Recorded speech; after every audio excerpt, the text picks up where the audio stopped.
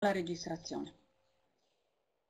Buongiorno a tutti, vi do il benvenuto a questo quarto webinar del ciclo sulle competenze digitali.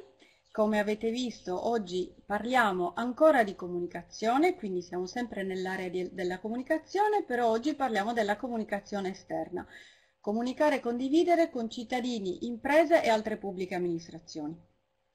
Come sapete, quindi questo è il quarto appuntamento di un ciclo di 11 seminari che ci terranno compagnia sino al 28 luglio.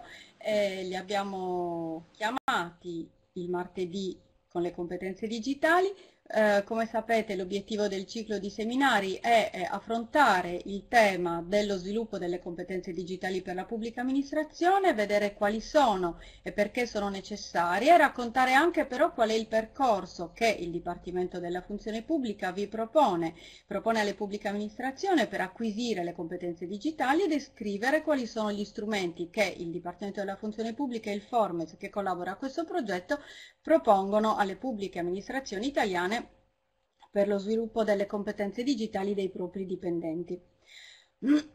Come avete visto, ogni seminario del ciclo è dedicato a una competenza, le competenze individuate nel syllabus sono 11, per questo 11 sono in tutto gli appuntamenti. Chiaramente nel seminario oh, non si possono trattare tutti i temi, tutti i contenuti della competenza in oggetto, ma la logica è quella di fornire alcuni spunti in modo tale che poi si possa un po' anche approfondire. Diciamo che cercheremo nei nostri seminari, noi cerchiamo sempre di fare una sorta di volo e di vedere dall'alto quali sono i temi principali della competenza, però proprio anche di far capire perché questi temi sono importanti oggi per la pubblica amministrazione. Per tutto il resto ci sarà poi la formazione che arriverà, eh, come abbiamo detto anche le altre volte, a partire dal mese di settembre.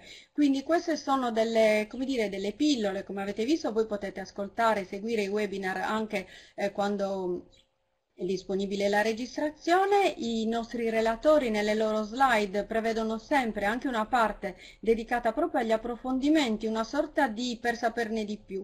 In questo modo c'è proprio una parte sulla normativa, sitografia, bibliografia, articoli utili per approfondire i temi. Sono delle, una sorta di piccole pillole che anticipano i contenuti, per tutto il resto arriverà la formazione.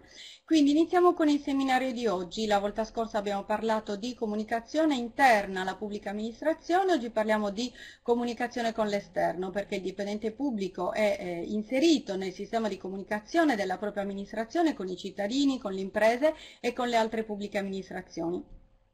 Quindi chiaramente il dipendente pubblico deve saper individuare gli strumenti eh, di comunicazione, in questo caso digitale, più appropriati per interagire, sapere anche come attivare forme di partecipazione per un maggior coinvolgimento dei cittadini e inoltre deve sapere qual è il ruolo della PEC nella comunicazione con l'esterno, sapere cos'è il domicilio digitale e cosa comporta. Quindi veniamo al programma di oggi. Um, l'intervento del Dipartimento della Funzione Pubblica oggi è svolto da Sabina Bellotti eh, che parlerà del, del, dialogo aperto con le amministrazioni a proposito del syllabus e vedremo proprio come attraverso questo dialogo, attraverso la fase di sperimentazione, attraverso i feedback che le amministrazioni stanno fornendo, il Dipartimento della Funzione Pubblica in qualche modo sta anche modificando, continua a modificare in corsa le attività previste. Avremo poi relatori di oggi che sono Gigi Cogo e Andrea Chiodi, sono entrambi funzionari pubblici, esperti rispettivamente di innovazione digitale e di diritto amministrativo e con loro vedremo i contenuti eh, dell'attività di comunicazione di cui si parla oggi. Ehm, alla fine dell'intervento dei due relatori avremo anche una brevissima sessione di domande e risposte, quindi voi potete porre le vostre domande in chat e alla fine saremo noi a farle vedere ai relatori per, eh, per chiedere di rispondere. Eh, come sempre vi dico che il seminario è registrato, la registrazione sarà disponibile a partire da questo pomeriggio su Eventi.pa, mentre l'attestazione delle presenze sarà fatta entro le 48 ore. Eh, a questo punto lascio la parola a Sabina Bellotti che vedo già in video. Prego Sabina, buon seminario a tutti. Buongiorno a tutti, eh, molto brevemente vi presenterò alcune delle attività che nel back office stiamo realizzando per voi. Io faccio parte del team del progetto eh, Competenze Digitali per le PA e chiedo di, chiedo di attivare le mie, eh, le mie slide cortesemente. Che non vedo. Comunque nel frattempo eccole. Eh, come, come, vi dicevo faccio parte del team competenze digitali per la PA e mi occupo in particolare di un tema molto importante per noi che è quello dell'ingaggio delle amministrazioni, un'iniziativa di questa portata di livello nazionale e di questa rilevanza dal punto di vista del tema che copre quello delle competenze digitali, purtroppo non ancora sufficientemente diffuse nel settore pubblico, necessita chiaramente di una forte azione di dialogo del Dipartimento della Funzione Pubblica con le amministrazioni. Eh, complessivamente Tratterò alcuni punti brevemente, quindi partiamo da quella che è un'idea e qual è il metodo che stiamo utilizzando. Eh, ricorderò per coloro che non seguono l'iniziativa da, dall'inizio che cosa abbiamo fatto finora brevemente, quindi relativamente al syllabus delle competenze digitali, alla piattaforma per l'assessment che è stata creata e qual è la riflessione che in questo momento è in corso e chi coinvolge. Eh, l'idea eh, è chiaro che eh, soprattutto chi di voi ha, ha potuto eh, navigare nel sito eh, del progetto eh, sa che ehm, lo slogan che abbiamo creato, che abbiamo coniato è più conoscenza, più formazione, più competenza. Competenza è l'obiettivo, competenze per l'innovazione essenzialmente competenze di tipo digitale, sono quelle a cui puntiamo come obiettivo generale del progetto. Eh, questo legame fra conoscenza, formazione e competenza è ovviamente noto, però per molte ragioni, soprattutto per quanto riguarda eh, l'ambito delle competenze digitali, sembra non aver funzionato finora l'azione e lo sforzo che molte amministrazioni pubbliche hanno messo in campo per dotare il proprio personale, per dotarsi all'interno di quelle competenze digitali che sono necessarie per la trasformazione digitale del modo di funzionare del settore pubblico. Quindi l'idea eh, qual è stata? Quella di mettere in campo un elemento di rafforzamento, di collegamento forte fra la conoscenza e la formazione per la creazione delle competenze. Quindi eh, non è un elemento nuovo, molte amministrazioni fra le più avanzate sicuramente hanno lavorato in termini eh, di eh, misurazione, assessment delle competenze, eh, però eh, non è mai stata fatta un'operazione di questo tipo che ovviamente chiama in campo una serie di strumenti e di modalità che devono essere realizzate. Voi già sapete che queste sono le componenti portanti di questa iniziativa. Un syllabus sulle competenze digitali che rappresenta e descrive il set minimo di conoscenze e abilità che ogni dipendente pubblico dovrebbe possedere o comunque dovrebbe essere presente all'interno delle organizzazioni pubbliche per poter partecipare attivamente alla trasformazione digitale del settore pubblico. Una piattaforma per l'assessment e a valle ovviamente poi lo strumento fondamentale che ci riconnette con le competenze, quindi un catalogo della formazione che serve a colmare i gap rilevati.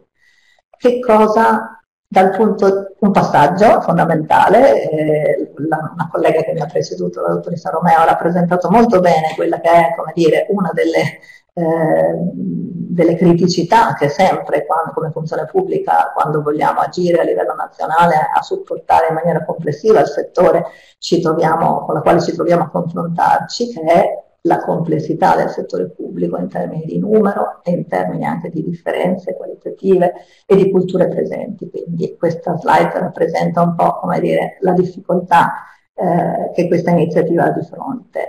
Eh, il metodo, abbiamo detto quella è l'idea, il metodo è il metodo appunto quello di eh, realizzare questa iniziativa step by step, fase per fase, vedete qui rappresentate le fasi in corso il punto in cui siamo eh, ad ora, eh, a oggi arrivati, anche se forse siamo un pezzo un po' più avanti perché stiamo già lavorando anche alla creazione del catalogo, e quindi vedete che il, la parola chiave è dialogo come metodo, un dialogo per costruire un syllabus partecipato, un dialogo aperto per sperimentare coinvolgendo operativamente alcune amministrazioni, un certo numero di amministrazioni a collaborare con noi, una riflessione per estrarre delle lezioni apprese, lezioni apprese che servono poi a generalizzare, a rendere, come dire, ampia eh, l'iniziativa e il suo potenziale impatto.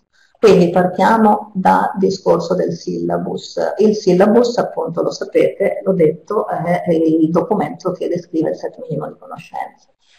Cosa abbiamo fatto? Dopo averlo eh, creato in collaborazione ovviamente con persone esperte di questo tipo di eh, documenti che diciamo, ha, presentano una complessità sicuramente anche dal punto di vista tecnico, abbiamo deciso di metterlo in consultazione, di rivolgerci eh, come destinatari ai responsabili della trasformazione digitale, ai responsabili della formazione in prima battuta, ma anche a tutto il personale interessato comunque al, al, misurarsi con le proprie competenze digitali, cioè dire la percezione dell'importanza di questo tipo di competenze nel profilo professionale di ognuno è un dato, come dire, epocale, quindi eh, anche nel settore pubblico come nel settore privato eh, sono competenze richieste e competenze che poi servono in realtà anche nella vita quotidiana e naturalmente anche gli interessati al tema. Il metodo che è stato seguito è stato quello di una consultazione aperta, un forum online, eh, accompagnato ovviamente da promozione perché la stessa parola syllabus e le competenze digitali andava in qualche modo chiarita, quindi con notizie, articoli, webinar e con un primo impatto in termini di interesse suscitato che vedete rappresentato dai numeri che vedete nella slide. Che cosa ne è derivato in termini di esiti della consultazione che è avvenuta, lo ricordo, un anno e mezzo fa, perché appunto il percorso dalla definizione del syllabus alla definizione della piattaforma cioè, ci è voluto del tempo. E comunque il primo passaggio che abbiamo portato a casa in qualche modo attraverso un dialogo con eh, rappresentanti delle amministrazioni è stato proprio quello di mettere a punto in maniera definitiva il syllabus. Vedete qui la partecipazione attiva rappresentata da questi numeri, è ovvio che stiamo parlando come dire, di un contesto abbastanza specialistico, ma sicuramente abbiamo suscitato, ed era questo l'intento, un confronto sui concetti di competenza e i livelli di padronanza che sono presenti nel syllabus delle competenze digitali e anche sulla scelta degli argomenti, perché appunto si trattava in qualche modo di definire un perimetro condiviso di quelle che sono le competenze digitali attese nel settore pubblico in generale. Tra le aree di maggiore interesse, lo ricordo perché proprio oggi parliamo qui di comunicazione e condivisione, sono risultate queste due fra le cinque presenti nel syllabus, non mi soffermo oltre.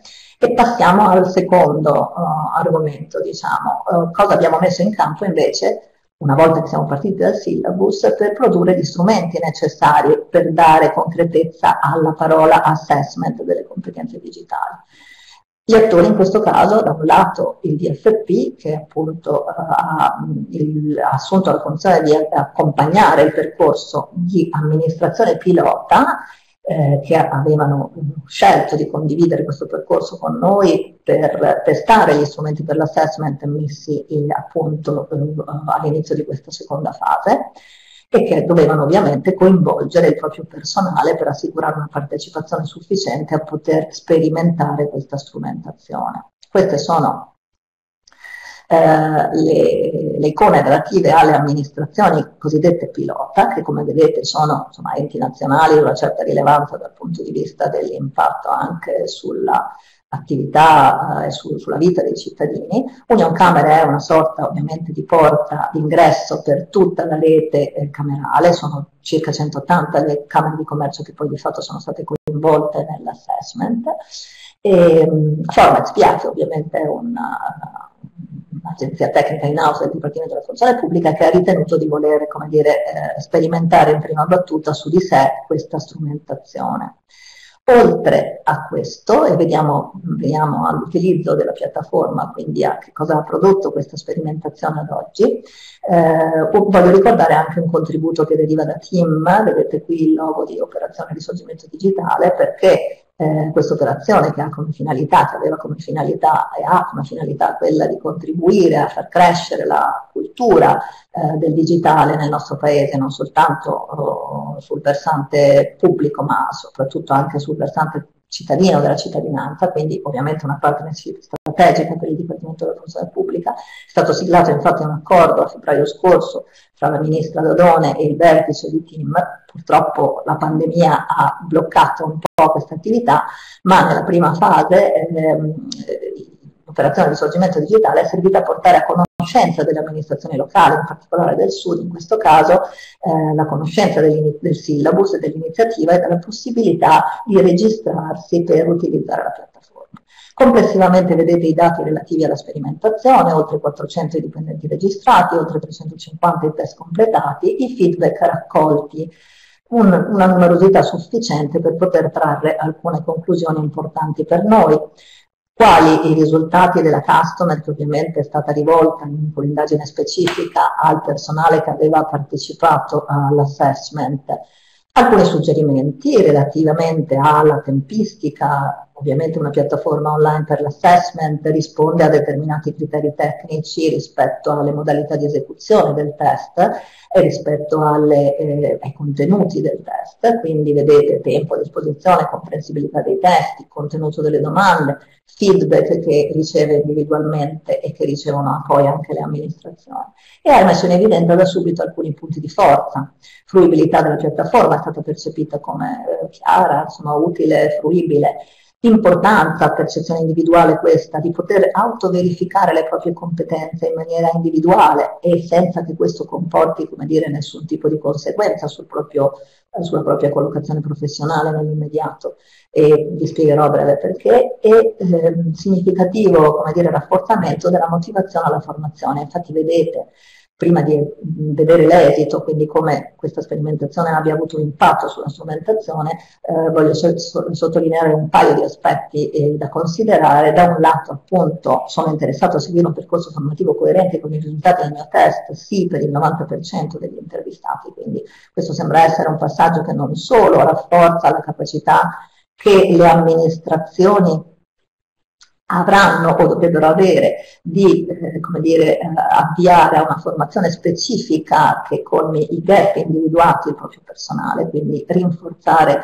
eh, gli effetti della leva formativa, ma anche un, un, elemento di motivazione in più per il personale individualmente preso, considerato che eh, può percepire l'accesso a una formazione mirata come, una, eh, come dire, un vantaggio anche sul piano dell'acquisizione eh, individuale, personale del, del, set di conoscenze e di competenze che si desidera possedere. Un altro elemento da considerare meno positivo è quello della curva presente, ma ovviamente non è una, una novità rispetto a, a quali sono le dotazioni tecnologiche del posto di lavoro, quindi a come poi le competenze, le conoscenze, le abilità possedute possano essere di fatto agite, perché questo ovviamente è una condizione sine qua non e sappiamo che c'è una distribuzione che varia molto all'interno del settore pubblico da questo punto di vista ancora oggi, nonostante il, il salto in avanti che è stato fatto anche in settori importanti come per esempio quello educativo. L'esito della sperimentazione lo vedete rappresentato qui, eh, dal punto di vista del test di assessment eh, si è potuto intervenire, si è voluto intervenire sulla variazione della soglia di superamento dei livelli di padronanza e sulla revisione dal punto di vista qualitativo di alcune domande relativamente alla loro struttura e al contenuto. In più è stato fatto un lavoro di messa a disposizione di una reportistica che avvantaggia la possibilità, le possibilità di utilizzo della piattaforma dal punto di vista dell'amministrazione che invia il proprio personale ad effettuare l'assessment, quindi con una reportistica sulla partecipazione e sull'esito.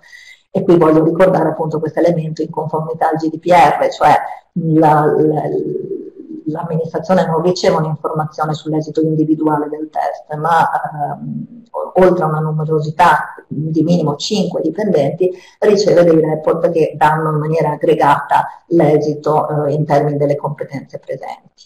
E comunque possono, eh, potranno a breve, eh, con la, le ultime innovazioni insomma, introdotte nella piattaforma, gestire e abilitare la partecipazione alla gestione dei propri dipendenti in piattaforma in maniera diretta.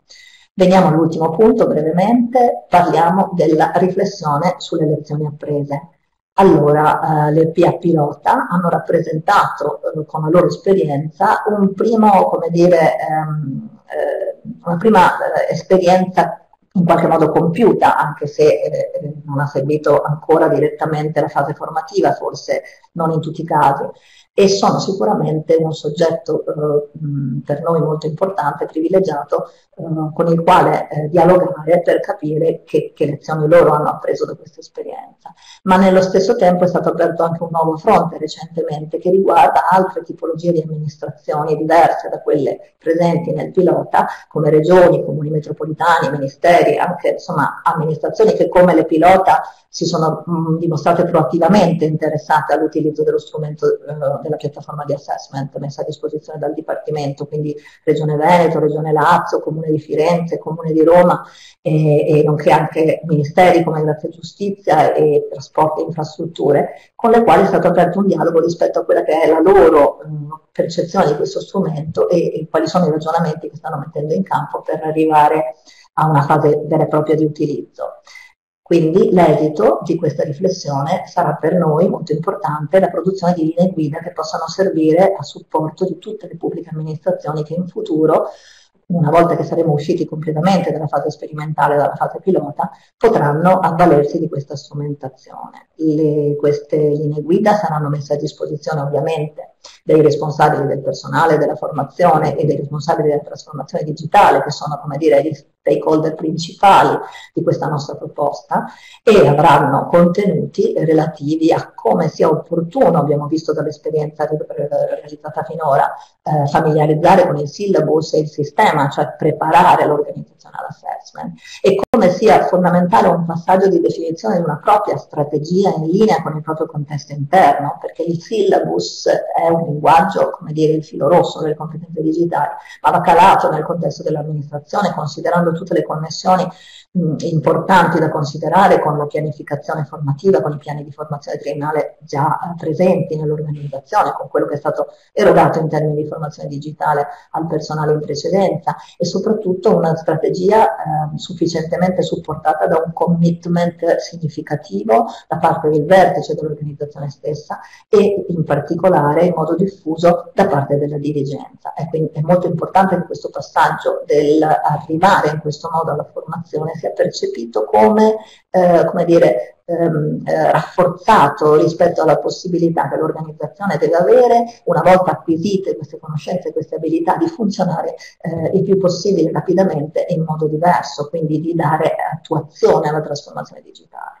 Altrettanto importante comunicare la strategia a tutto il personale presente perché sicuramente non saranno tutti ad essere avviati all'assessment, ci saranno delle priorità, ci saranno delle fasi, ma è importante che sia chiaro qual è al personale qual è eh, l'obiettivo e qual è la filosofia che sta dietro questo approccio diverso rispetto al passato. Così come sarà molto importante, qui richiamo in campo le due figure del responsabile del personale e dell'RTD, sapere valutare i gap eh, individuati e progettare o scegliere la formazione da erogare a valle. Quindi questo è il punto di arrivo, io vi ringrazio per l'attenzione, mi scuso per aver preso qualche minuto in più. E, ehm, stiamo e continueremo a lavorare per voi. Buon lavoro. Perfetto, grazie dottoressa Bellotti. Approfitto per dire che le domande che voi farete adesso nella chat sul syllabus, sulle, su come si aderisce, insomma sul, sul, funzionamento del sistema, noi le usiamo per integrare le FAQ che sono disponibili sul sito competenzedigitali.gov.it.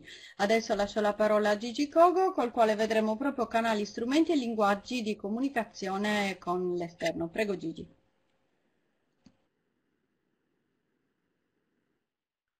Grazie Roberta, buongiorno a tutti. Cercherò di rimanere nei limiti anche se ovviamente il tema della comunicazione eh, nella pubblica amministrazione è un tema molto ma molto vasto e mi permetto di dire uno dei temi sui quali veniamo spesso eh, misurati per la nostra capacità relazionale, per la nostra capacità empatica e spesso anche per il linguaggio che tentano giustamente a comprendere quelli che sono gli utenti ai quali noi ci riferiamo.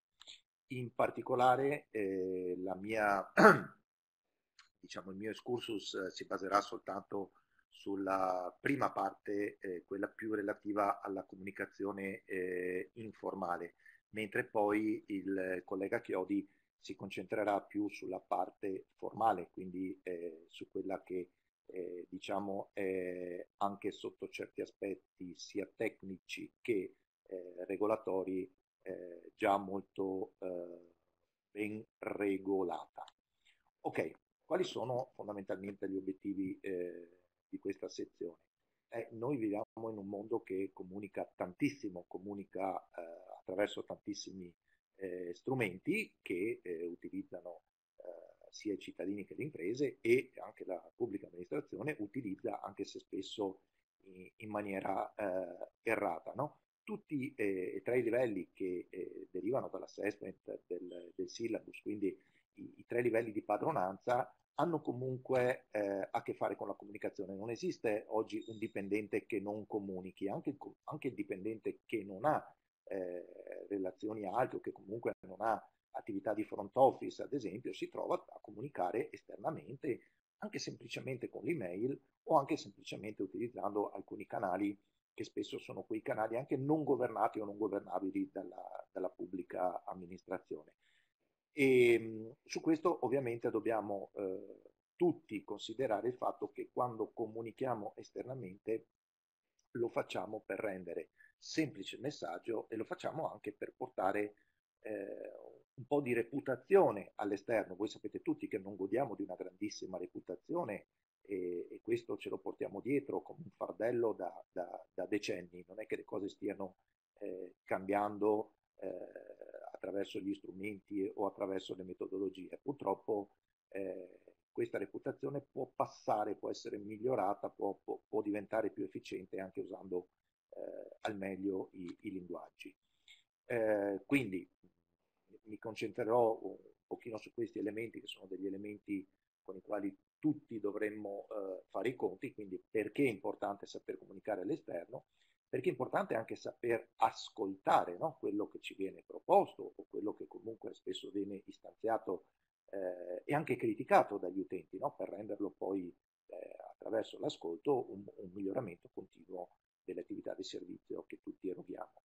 E poi perché è importante anche eh, far partecipare, come abbiamo visto eh, anche questo del syllabus, è un percorso partecipativo, no? è un percorso che coinvolge tutta una serie di soggetti che non sono soltanto i destinatari, ma anche i portatori di interesse o comunque anche tutti quei soggetti che rispetto a un processo decisionale della pubblica amministrazione possono portare dei miglioramenti o possono darci eh, alcuni consigli che eh, possiamo, non dobbiamo, ma possiamo ritenere utili.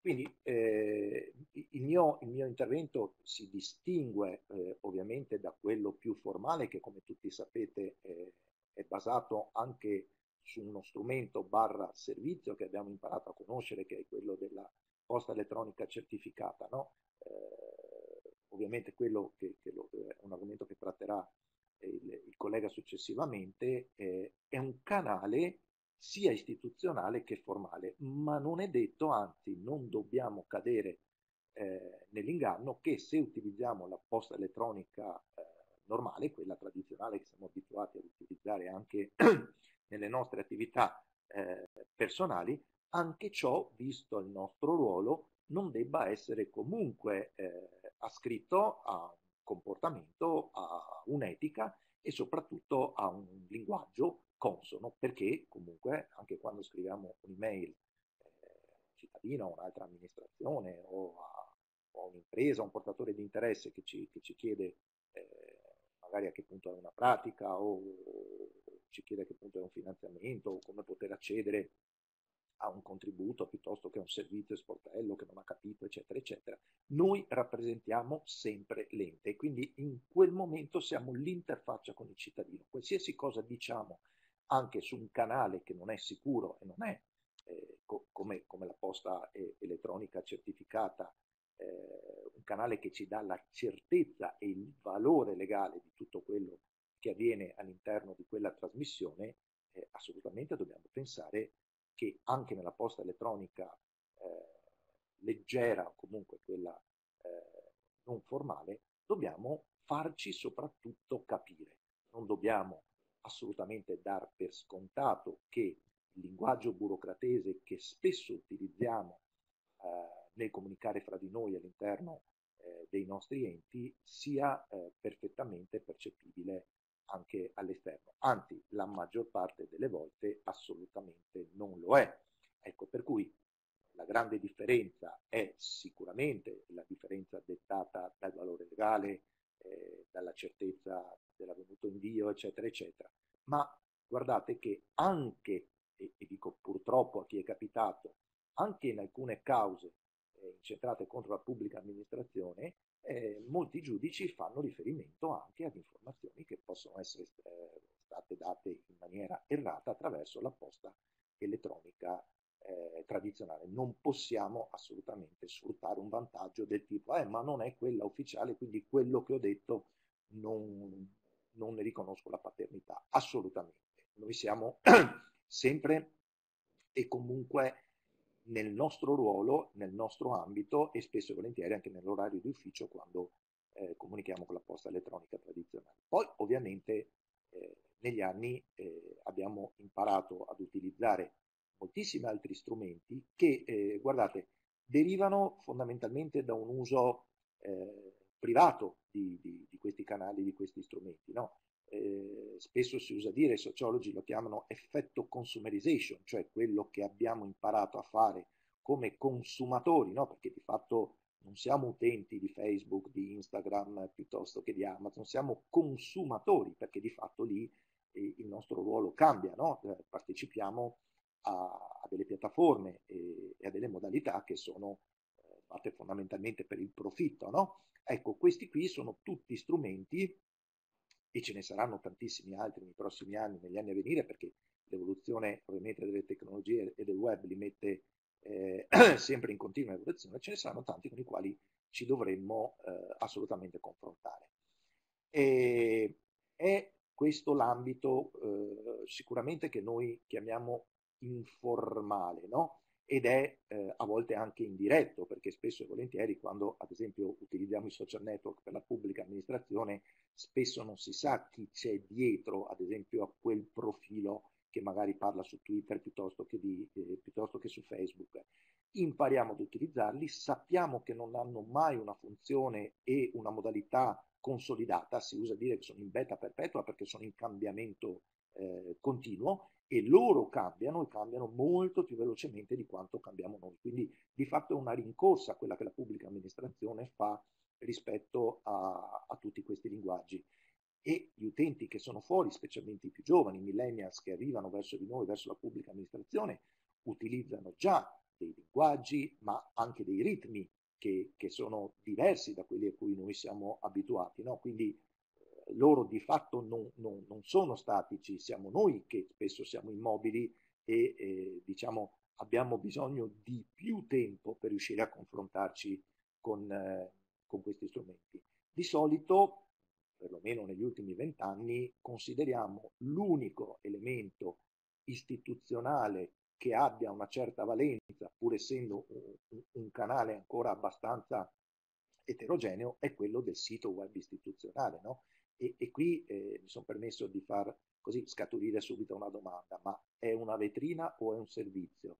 Dopo quasi, correggetemi se sbaglio, ma quasi 25 anni dalla legge 150, è considerato un servizio il web istituzionale o è ancora l'autoreferenza della pubblica amministrazione? Beh, guardando in giro, ovviamente eh, se ne vedono di cotte e di crude, c'è ancora chi considera il sito istituzionale una vetrina politica, c'è chi lo considera ancora un elemento eh, di informazione prettamente amministrativa senza nessuna empatia e capacità di dialogo e quindi diciamo fondamentalmente si basa su quelli che sono i contenuti minimi obbligatori, no? abbastanza asettico sotto certi aspetti, però mh, mm, qualcosa che, che, che ovviamente dobbiamo curare anche come adempimento, cioè pubblicità legale piuttosto che la partita IVA, la PEC, come descritto in questa slide, sono cose che siamo obbligati a mettere nel sito web istituzionale. Però nel 2020 ci sono tutta una serie di componenti sul sito web istituzionale che quando noi lo utilizziamo, cioè quando noi come utenti no,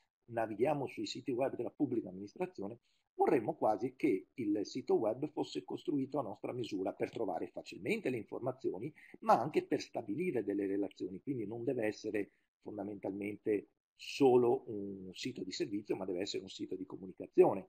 Ed è, ed è appunto importante che il sito web e poi anche tutti quei canali che vi ho descritto prima, che sono molto informali, appartengano comunque a un alveo che sia, che sia riconoscibile si parla di brand identity quando si dice attenzione a partire dal logo, dallo slogan, ma anche dalla modalità con la quale si parla, si riesca a capire che si ha a che fare con un'organizzazione. Quando noi giriamo sul web e cerchiamo delle informazioni relative magari proprio a un ente, un'amministrazione, un'azienda dello Stato, a volte ci troviamo anche su dei siti che sembrano dei siti pubblici, ma non sono altro che degli aggregatori, i quali cosa fanno? Saccheggiano le nostre informazioni e le, le, le, le ricompongono, magari con un'ottica anche di profitto.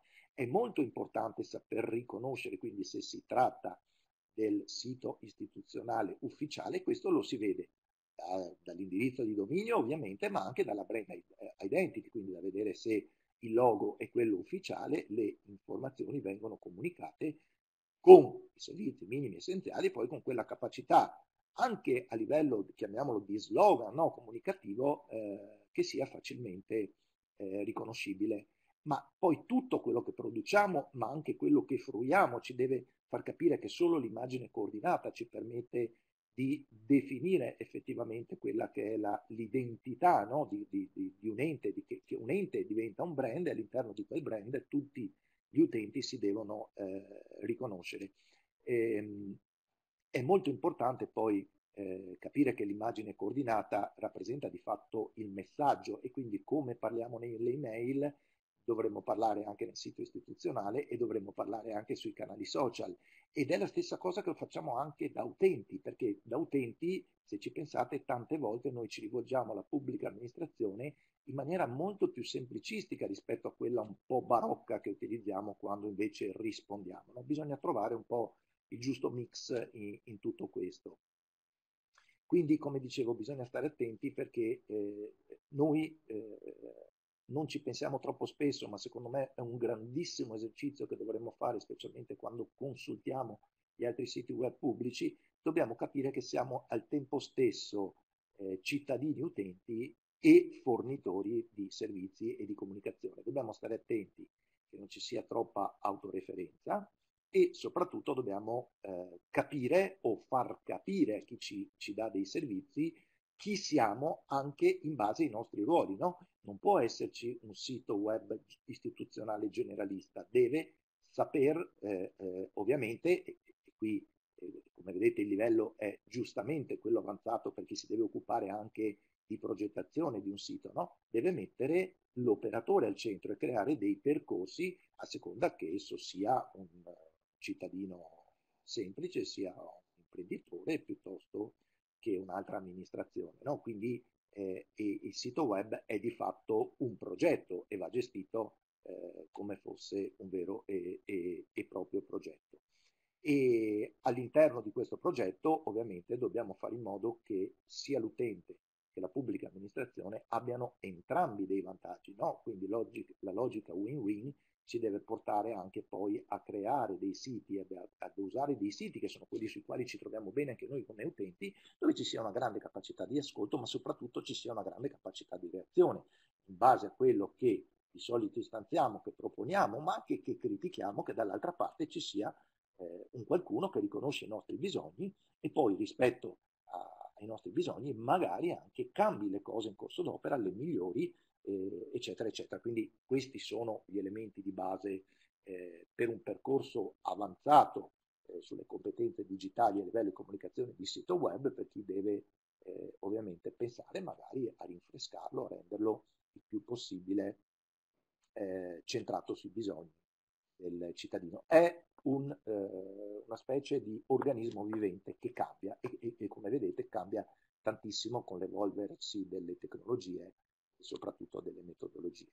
Ovviamente mh, non dobbiamo mai eh, dimenticare che abbiamo anche una serie di utenti che non sono eh, così fortunati da poter fruire eh, del sito web come lo, lo, ne fruisce un normo dotato, per cui il tema del, dell'accessibilità è molto importante e ce ne rendiamo conto eh, spesso quando visitiamo anche dei siti che pur essendo eh, normodotati magari sono incomprensibili da un punto di vista di immagine, di suoni, piuttosto che di font, piuttosto che di, di altri elementi che, che, li rendono poco, eh, come si dice appunto, accessibili a noi, figuratevi eh, a uno che magari deve utilizzare una tecnologia assistiva eh, per poter eh, fruire delle informazioni.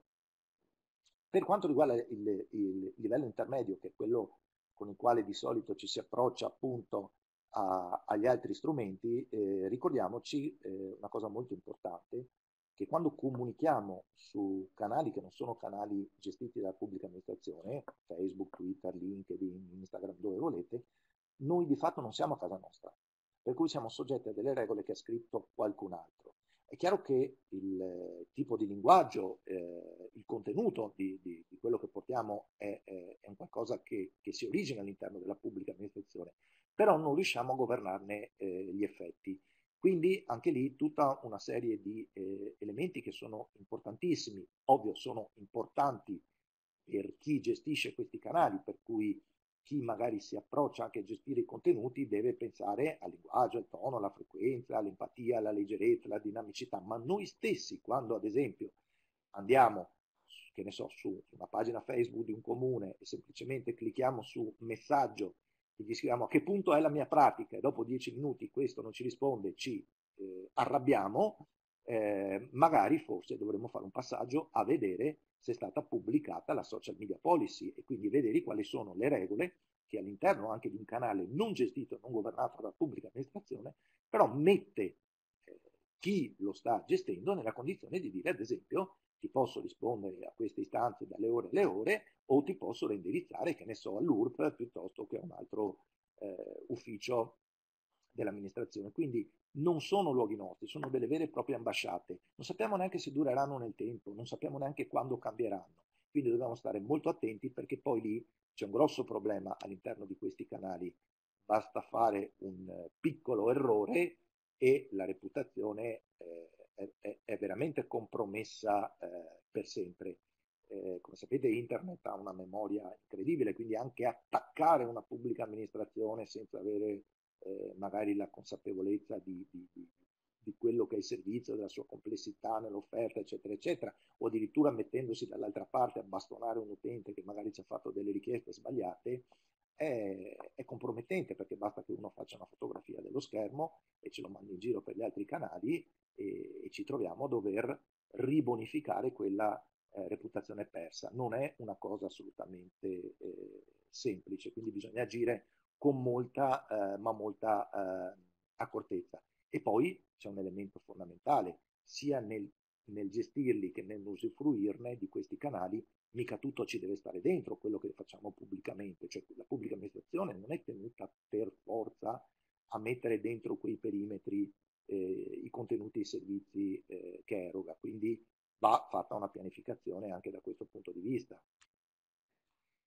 Ok, vediamo ora molto velocemente ciò che invece potrebbe essere, eh, e già è per alcuni, per alcuni, enti, un elemento molto più strutturato e, e, sotto certi aspetti più complesso, ma che può dare anche dei risultati eh, assolutamente importanti per quanto riguarda la, la, revisione delle proprie azioni. Sto parlando del CRM. Il CRM è di fatto un Moloch, è un, un qualcosa di robusto che bisogna o comprare attraverso delle gare, attraverso delle convenzioni o, perché no, eh, chiedere al reparto IT di mettere eh, in, funzione per la nostra eh, amministrazione ed è eh, uno strumento con il quale si vanno a gestire le relazioni, no? ma soprattutto oltre che a gestirle si vanno poi a monitorare perché il CRM offre dei dati sostanzialmente, no? ci dà eh, oltre che gestire le istanze, quindi tutti i processi relativi eh, alle istanze, ci permette di avere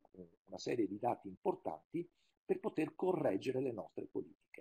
E questa è una cosa eh, che eh, è assolutamente importante, non tutti gli enti lo fanno, ovviamente ci sono enti eh, più strutturati, più grossi, ma anche finanziariamente più dotati che possono eh, agire in questo senso. Ed è una, un'operazione che poi anche da un punto di vista di utente, se noi istanziamo nei confronti, faccio un esempio dell'INPS che ha un CRM molto importante, una richiesta, riceviamo immediatamente la notifica del numero di ticket, dell'ora eh, nella quale è stato aperto, spesso e volentieri ci viene anche scritto entro quanto avremo la risposta e possiamo mantenere traccia sia noi come utenti, ma soprattutto alla parte cosiddetta di back office dell'amministrazione di, eh, di queste istanze, di queste proposte, di questi eh, elementi di assistenza anche, no? perché molto, è molto importante ad esempio eh, leggere i dati eh, che un CRM offre per poter poi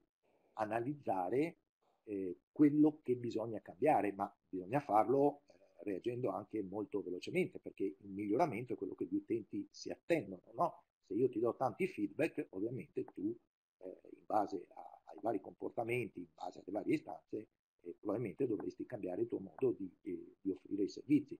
Un altro elemento molto importante e che credo piace a tutti quando già lo troviamo esposto è il tema relativo alle FAC. Le FAC non sono altro che una conseguenza al buon uso di un CRM, cioè se ci sono domande molto simili, ripetitive, eh, relative a un servizio piuttosto che all'erogazione di un contributo, metteteci voi un po' quello che volete, è meglio già predisporre tutta una serie, chiamiamoli, di manifesti che contengono già le risposte principali a, a queste istanze, in modo da non caricare troppo, ad esempio, eh, il call center di assistenza nel, nel dover puntualmente seguire una a una eh, tutte le istanze. Vado molto velocemente, qui ho messo alcuni assunti relativi appunto a, all'impatto che può avere il, CRM anche nel ridisegno di un, di un, sito istituzionale. Se i cittadini girano, girano, navigano, non trovano le cose, probabilmente eh, è grazie a questa loro eh, indicazione che noi possiamo migliorarci molto velocemente parliamo ora di amministrazione aperta, che è sempre un elemento eh, che riguarda la comunicazione, perché è basato sulla capacità dell'amministrazione di comunicare e di coinvolgere, ovviamente. Quali sono eh, i pilastri, molto velocemente, visto che ho pochi minuti, dell'amministrazione aperta? Beh, sono quelli descritti nella slide, quindi l'essere trasparente, quindi l'amministrazione deve poter mettere sempre a disposizione eh, le informazioni che possiede e i dati, no? come ad esempio i dati aperti, deve permettere la collaborazione soprattutto degli stakeholder, includerli nei processi eh, collaborativi,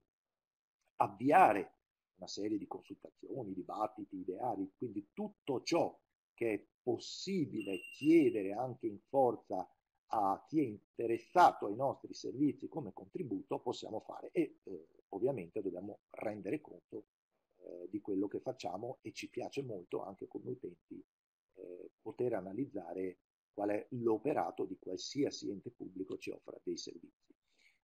Mm, vi metto un po' di link eh, relativi ai sistemi di partecipazione, ce ne sono tantissimi, mi piace partire mm, ovviamente da quello che anche prima eh, è stato illustrato dalla dottoressa Bellotti, che è la consultazione che è stata fatta dal Formez proprio sul syllabus, no? ma ce ne sono tantissime, c'è addirittura un sito, come vedete, che aggrega tutte le consultazioni pubbliche e, ed è gestito a livello centrale. Poi ci sono eh, ovviamente anche delle, eh, delle piattaforme di, di, di, partecipazione molto più se- eh, settoriali, no? ad esempio ho citata una relativa allo SPID, gestita da Agid, ma ce ne sono anche locali, no? ci possono essere dei comuni che eh, predispongono una piattaforma partecipativa per poter eh, coinvolgere cittadini e stakeholder.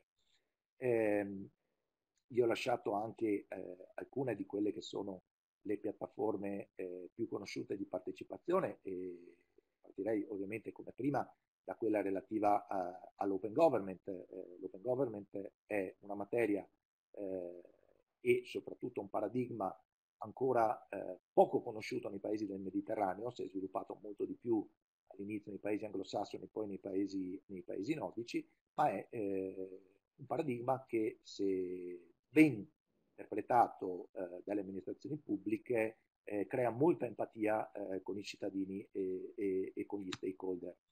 per ultimo ci sono anche le, le, piattaforme di monitoraggio, perché poi, come abbiamo detto, eh, dobbiamo permettere a, a chiunque di, di poter eh, osservare e valutare eh, quello che facciamo. E vi consiglio di guardare eh, anche piattaforme eh, di monitoraggio civico fatte quindi direttamente da cittadini, non gestite dalla pubblica amministrazione, ma molto carina anche la piattaforma di Moniton che è gestita dall'Agenzia della Coesione ed, ed è a valere sui fondi strutturali, che, che, va a fare un monitoraggio che vada ben oltre eh, quello che è il computo dell'erogazione dei finanziamenti e quindi la capacità, ad esempio, delle, dei piani operativi di, di, di creare eh, diciamo, eh, ottime soluzioni per i nostri eh, territori grazie ai fondi strutturali. Che cosa fa Moniton? Va a vedere se effettivamente le realizzazioni corrispondono a quelli che sono i bisogni sociali, quindi chiede alla cittadinanza o ai portatori di interesse se quegli interventi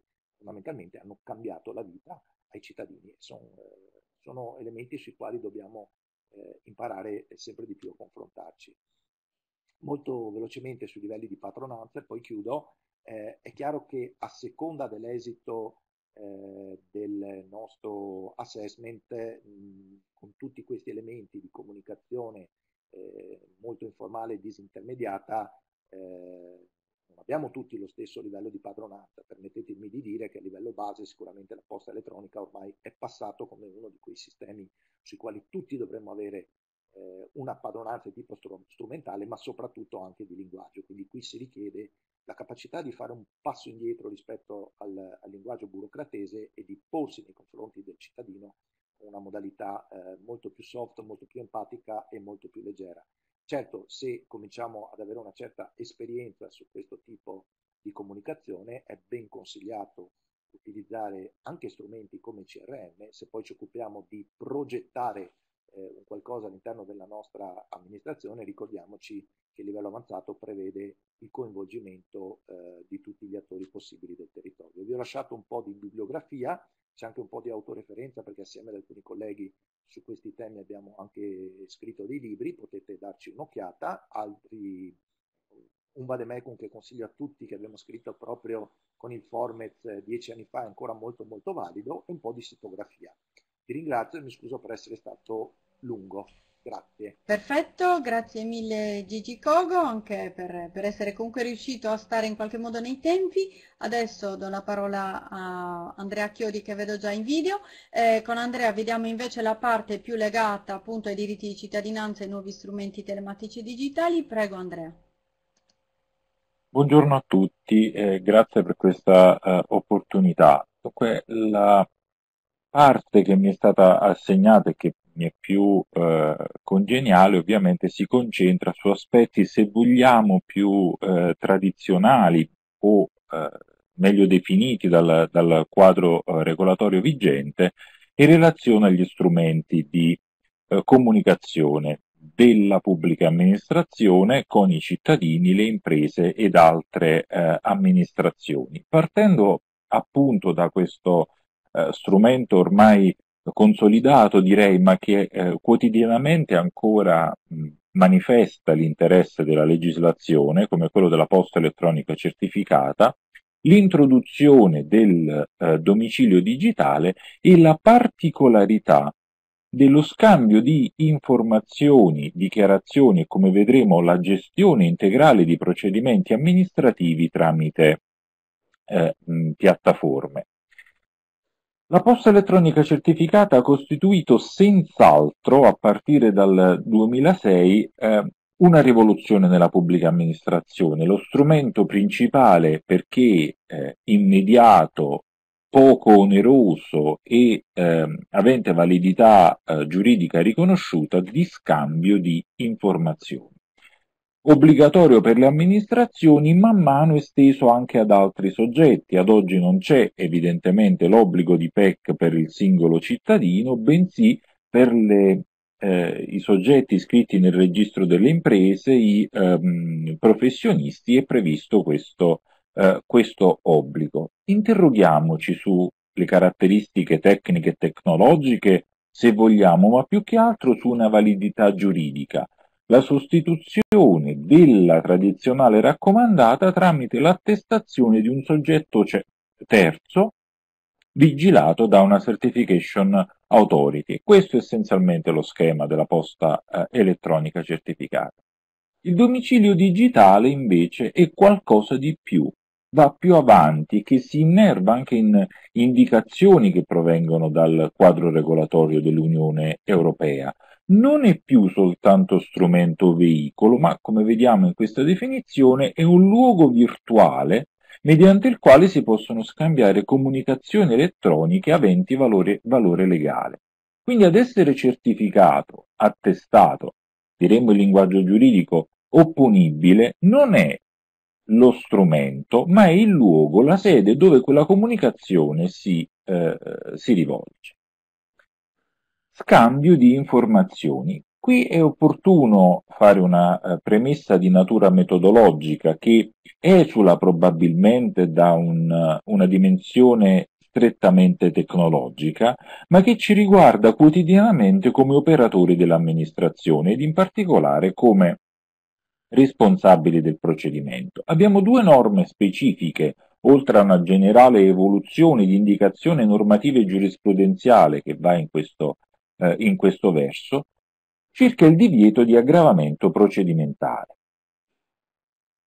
Una norma è chiara, prevista nell'articolo 1 della legge 241, il divieto di richiedere nuovamente informazioni e dichiarazioni già conosciute, eccetera, eccetera. Le previsioni del DPR 445 sulle modalità di certificazione, attestazione ed informazione da parte dei privati e delle imprese e la tipizzazione, direi a partire dall'articolo 6 della legge 241, degli strumenti di cognizione del responsabile del procedimento. Questi vanno coordinati essenzialmente con l'articolo 3 bis della legge 241 che richiama l'uso della telematica, utilizzava allora ovviamente questo termine, come fondamentale per l'andamento della gestione dei procedimenti amministrativi. Quali sono le caratteristiche di una posta elettronica certificata per lo scambio qualificato di informazioni tra amministrazioni, imprese e cittadini? Il fatto che la posta elettronica certificata ci dia garanzie sulla integrità, la tempestività e soprattutto il non ripudio. In che senso? Integrità come possibilità di garantire la completezza delle informazioni. Tempestività, perché abbiamo cognizione immediata della consegna tramite la famosa accettazione di consegna nel server di posta elettronica del certificato del destinatario e non ripudio, cioè la impossibilità da parte del soggetto che si sia avvalso dello strumento di disconoscerlo.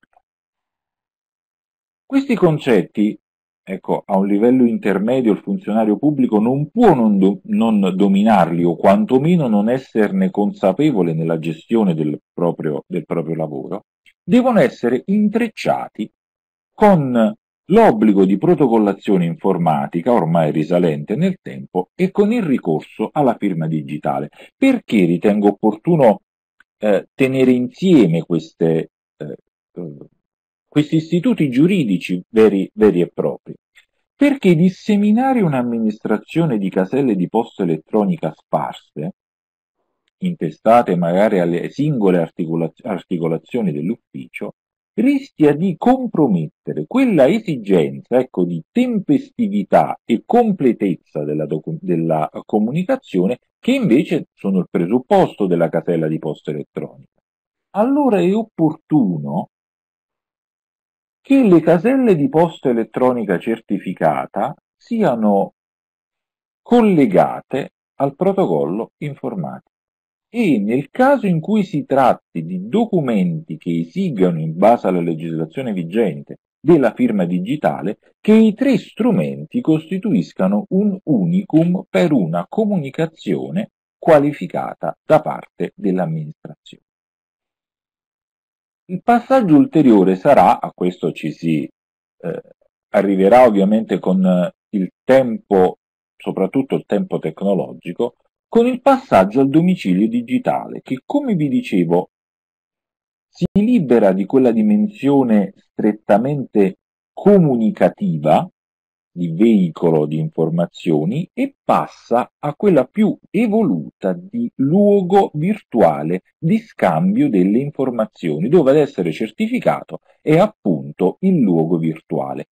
Necessita evidentemente del completamento di una innovazione importante su larghissima scala che è l'anagrafe nazionale della popolazione residente, perché evidentemente il domicilio digitale del soggetto non può che essere connesso alla dimensione anagrafica. Un soggetto che abbia un domicilio digitale deve in qualche modo avere un domicilio anagrafico che del domicilio digitale è, eh, è lo specchio. Il codice dell'amministrazione digitale stabilisce appunto che al passaggio completo dell'intera eh, nazione all'anagrafe nazionale della popolazione eh, residente, l'indice nazionale dei domicili digitali delle persone fisiche e degli altri enti di diritto privato saranno appunto integrati rispetto a quelli già disponibili dell'indice nazionale dei domicili digitali delle imprese e dei professionisti, il famoso indice INIPEC, che ovviamente utilizziamo già quotidianamente nella ricerca di, eh, dell'indirizzo PEC di professionisti o eh, imprese con le quali nella nostra attività abbiamo eh, a che fare. Questi ultimi eh, professionisti e imprese già a questo momento hanno l'obbligo giuridico di censirsi tramite una PEC ehm, accanto al censimento già compiuto delle pubbliche amministrazioni tramite eh, l'indice IPA. Quindi una serie di eh, indici, di eh, rubriche direi che vanno via via eh, completandosi a vantaggio di questo domicilio eh, digitale. Scambio di informazioni. Già ad oggi facciamo ampio ricorso a piattaforme che ci consentano di acquisire, eh, diciamo senza una interlocuzione, ma con una richiesta di accesso a dato già esistente con altre pubbliche amministrazioni.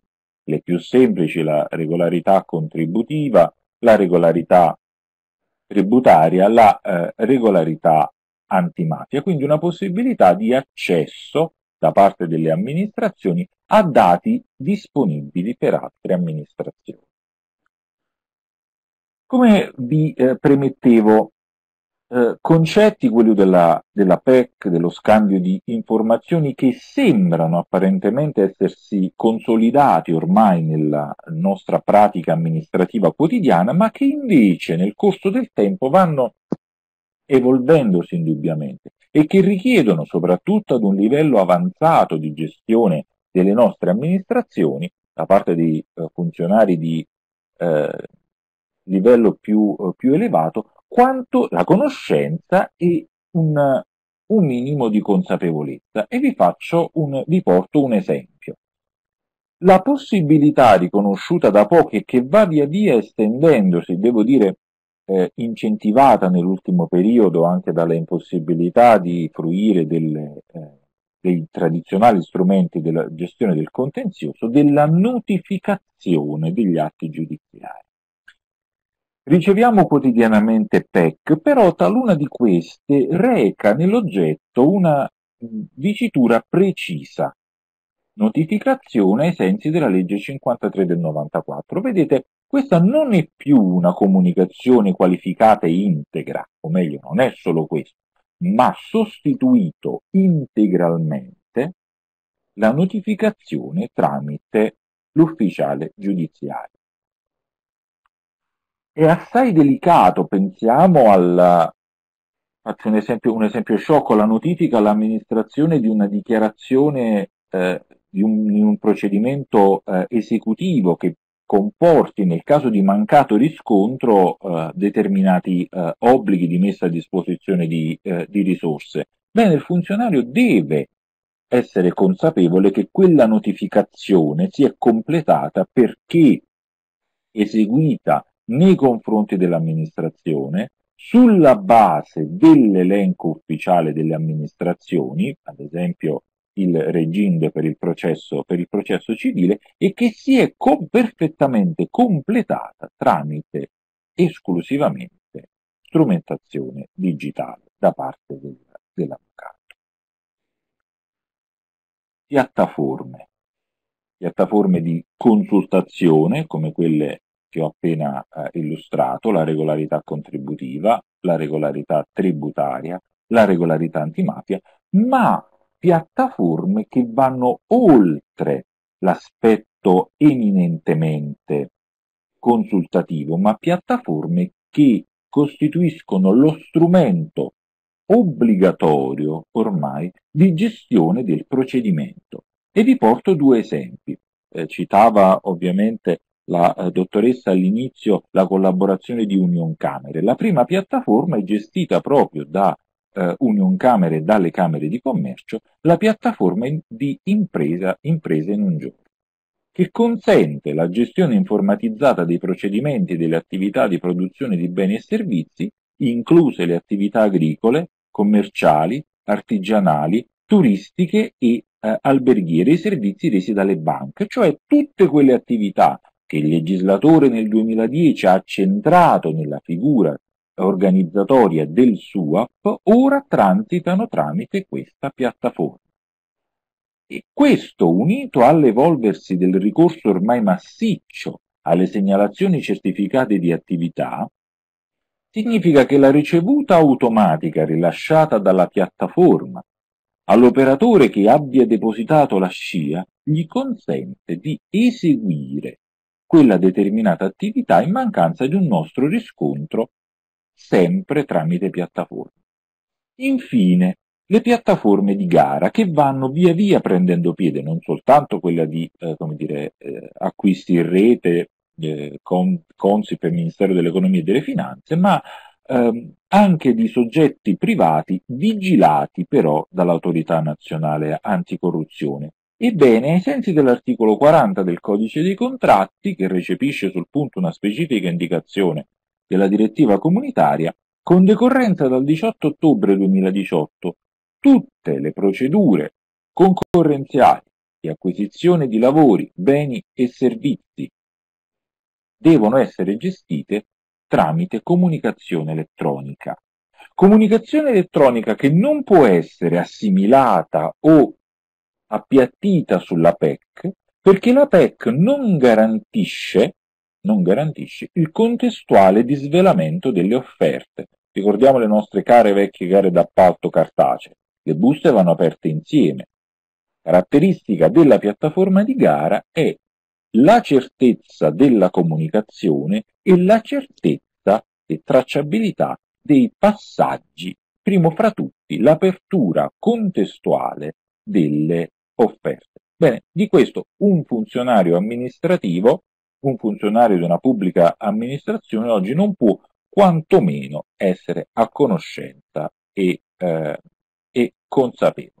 I riferimenti normativi essenziali sembrano risalenti nel tempo, ma trovano, grazie a una normativa tecnica che viene costantemente aggiornata, pensiamo alle linee guida dell'Agit, alle direttive del Dipartimento di funzio- della uh, Funzione Pubblica, che trovano, come dire, spesso la uh, via di sfogo verso un aggiornamento nella nostra pratica. Il DPR 445, il codice dell'amministrazione digitale, il regolamento sull'utilizzo della posta elettronica certificata, ma anche la legge 53 del 94 sulle notificazioni, che è stata estesa, articolo 3 bis, alle notificazioni tramite posta elettronica certificata di cui vi parlavo, il codice dei, eh, dei contratti pubblici, articoli 40 e seguenti, sull'obbligo di gara, di gara telematica.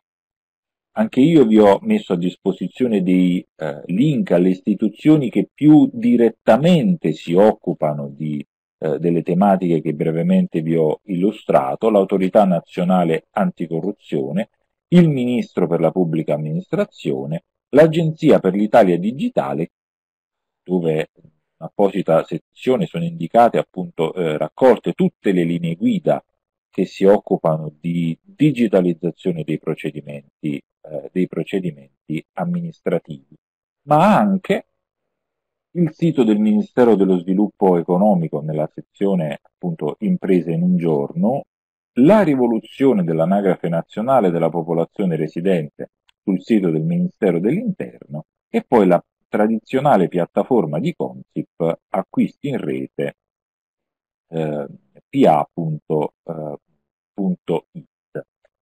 piattaforme che dobbiamo necessariamente imparare a conoscere e a dominare, perché un'amministrazione eh, moderno, oltre che, indipendentemente verrebbe da dire, il dato normativo è chiaro, quindi non si può, eh, non si può sfuggire, ma un'acquisita consapevolezza di questi strumenti nel medio periodo non c'è dubbio che agevoli e il nostro lavoro quotidiano, il lavoro dell'amministrazione e renda quanto più possibile trasparente e certo l'esito procedimentale che la legge 241 del 90 pone eh, quotidianamente nelle nostre mani.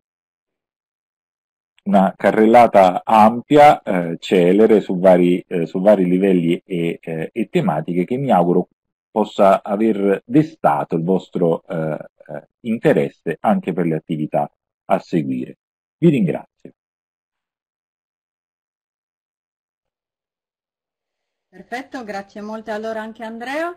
Ehm, sono arrivate, eh, devo dire, parecchie domande. Ho avuto un'interruzione? Sì, ora spero che mi sentiate chiaramente.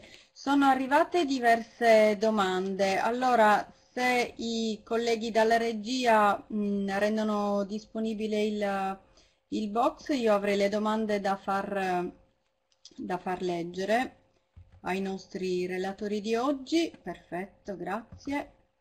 Allora, ehm, quindi le domande, allora, ad esempio, ecco qua, eh, Gigi Kogo, puoi attivare, Gigi, puoi attivare il tuo video così eh, ti vediamo. Ci sono alcune domande per te, ho selezionato quelle che mi sembravano le principali. Le vedi qua nel box, nelle domande? Sì, sì, sì, grazie Roberto. Allora, il CRM può essere usato anche per comunicazioni di emergenza. Beh, eh, sulle comunicazioni di emergenza mh, mm, direi, beh, eh, sì, se il CRM ha una diffusione massiva, quindi coinvolge tutti i cittadini, quindi è riuscito a profilare quasi tutti i cittadini. Io mi permetto di citare eh, la mia città, ad esempio noi a Venezia abbiamo un sistema che si chiama Dime, nel quale praticamente quasi tutti i cittadini hanno un, un loro profilo.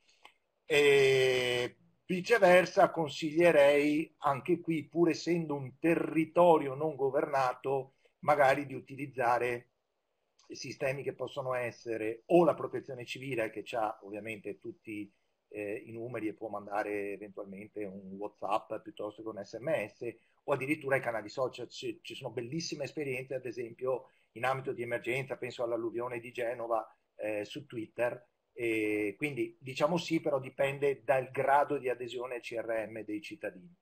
La PA che ha un sito istituzionale può essere obbligata ad avere un CRM? Beh, il CRM non è eh, di fatto un obbligo, è un grande consiglio. Poi attenzione, ehm, secondo me va definito un concetto di questo tipo. Esiste la piattaforma CRM che è un Moloch sistemistico, informatico e gestionale omnicomprensivo, ma un CRM può essere fatto anche di, di pezzi, cioè nel senso pian piano che erogo dei servizi, inserisco alcuni elementi di dialogo e di confronto con i cittadini per le loro istanze, per le FAC, per indirizzarli verso un'assistenza che può essere di un back office, di un URP, eccetera, eccetera, e quindi può essere anche fatto in maniera più leggera. Eh, non è un obbligo, di fatto non, non, non esiste una, un obbligo normativo per il CRM. Perfetto, grazie Gigi. Ci sono alcune domande per Andrea. Aspetto a vederti in video, perfetto. Andrea, eh, magari seleziona tu quelle che ritieni le principali, prego.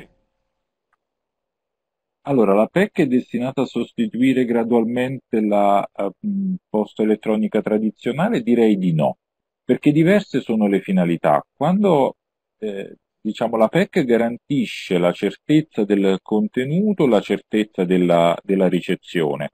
Torniamo un po' indietro nel tempo, non tutte le comunicazioni nelle nostre pubbliche amministrazioni erano fatte con raccomandata R o men che meno tramite, la notifica tramite il, eh, il messo, l'ufficiale giudiziario. Quindi continueranno evidentemente ad esistere i due, eh, i due canali. Ovviamente concordo con quanto ha detto il collega, il collega prima di me, L'utilizzo di una mail non PEC non significa che il eh, contenuto del messaggio sia meno eh, istituzionale eh, producibile e utilizzabile in, in contenzioso e quant'altro, a maggior ragione quando parliamo di una cosiddetta posta elettronica semplice corporate, cioè eh, facilmente eh, assegnabile, individuabile in capo alla, all'amministrazione.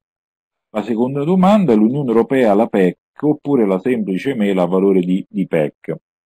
Qui diciamo ci sarebbe da fare una, una, battuta, la PEC è fondamentale in Italia perché solo in Italia disconosceremmo di aver ricevuto un, un messaggio. No?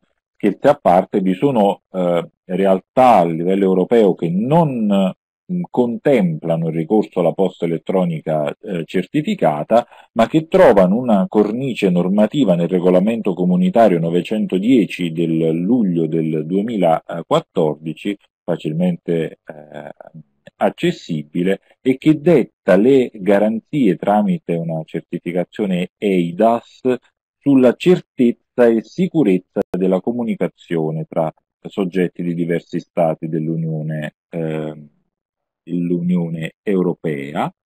Rispondo poi all'ultima perché è veramente facilissimo.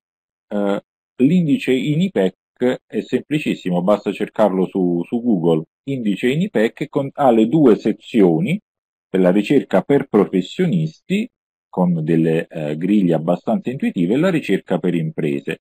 Ricordo però una particolarità per quanto riguarda la ricerca per le imprese, l'obbligo per le imprese di dotarsi di una casella di posta elettronica certificata da comunicare al registro delle imprese, quindi con una pubblicità legale eh, assolutamente eh, fondamentale. Nel caso in cui la PEC disponibile sull'indice INIPEC non coincida con quella che riusciamo a individuare tramite una visura camerale, prevale quella della visura eh, della visura camerale. Per quanto riguarda i professionisti, vi sono altre modalità, diciamo così, sollecitatorie a procurarsi una email. Faccio un esempio per, per gli avvocati, il non inserire la PEC già messa a disposizione dal Consiglio, dal Consiglio dell'Ordine negli atti giudiziari fa sì che ci sia una sanzione, ad esempio nel raddoppio del contributo unificato per l'instaurazione di un procedimento giudiziario. Ecco, una eh, sanzione evidentemente economica con natura fortemente eh, sollecitatoria.